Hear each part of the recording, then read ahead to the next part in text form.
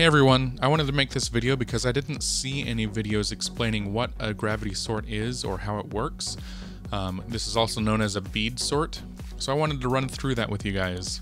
To start off, I just want to say that this is a novelty sort. It doesn't really have much practical use because the way that it actually sorts the numbers is very unconventional and has an exponential growth of calculations. The best way to understand a gravity sort is to think of an abacus. Let's think of an abacus that has no beads on it. The number of rows that our abacus will have is going to be equal to the maximum value in our array that we want to sort. So let's just think of sorting an array of numbers that has a maximum value of 5. In our case, we will have 5 rows of numbers. Let's say we have 5 total entries, and in this case we're just going to make it easy on ourselves and put it in reverse order. Let's list our numbers at the bottom, and each number represents how many rows we need to put beads on starting from the bottom. So for the first column, we want to store the number 5, and we're just going to put 5 beads on our abacus, one on each row.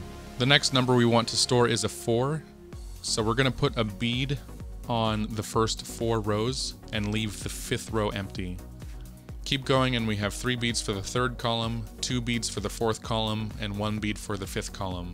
You might see where I'm going with this, and you might see why this is called a gravity sort. Let's imagine turning the abacus on its side 90 degrees. All of a sudden you can see the beads naturally sort themselves.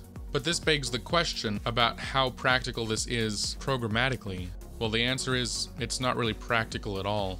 Every number that you want to store in your array and sort you have to break down into an array, and that array will contain Boolean values. If we want to store a 3, we would basically have an array that says true, true, true, false, false. So our sorting algorithm needs to take an input of an array, manipulate it as a two-dimensional array, and return a one-dimensional array. As you can probably tell, that's exponentially demanding on a computer. Our computational requirements for a computer is proportional to the number of numbers that you want to sort multiplied by the maximum number in that array. So if we wanted to sort 10 numbers between 1 and 10, we'd need to make 100 comparisons.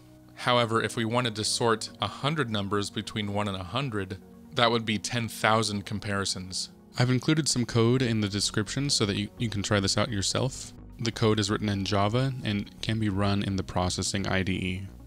I hope this clarified how the sorting algorithm works. Let me know if you have any questions or if I got anything wrong. Thanks.